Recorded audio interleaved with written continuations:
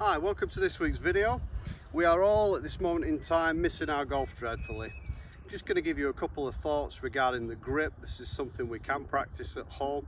We can pick up a club, check our hands are placed on the golf club in a, in a way that allows us to control the club face. When we get back to playing golf again, this I'm sure will put us in good stead for us to restart at our best. Let's talk a little bit about the hands. There is not one way of holding the golf club, there are several. As long as the hands are brought together in a cooperative way, then we have the best chance of having a repeatable and consistent golf swing. Some players choose to overlap the grip. Some players interlock. There is no right and wrong.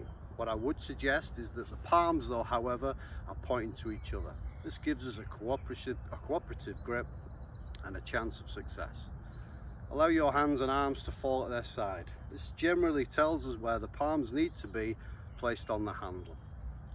If the right hand, the lower hand in my case, is a little on the underneath side, this is generally a hooker's grip.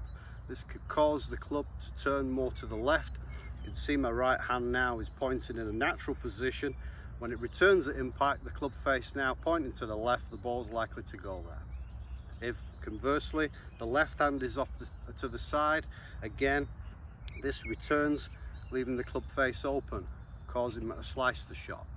If my palms are pointing to each other, I've got a good chance of having control over my club face, see that golf shot going straight.